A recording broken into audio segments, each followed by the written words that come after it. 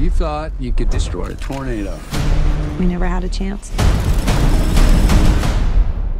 You want one?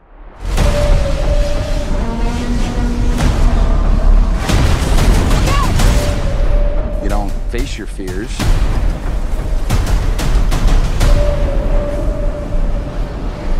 You ride them.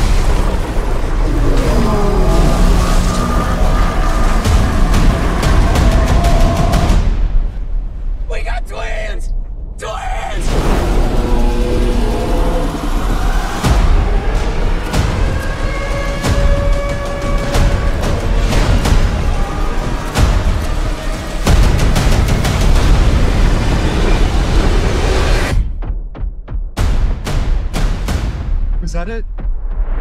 Nope.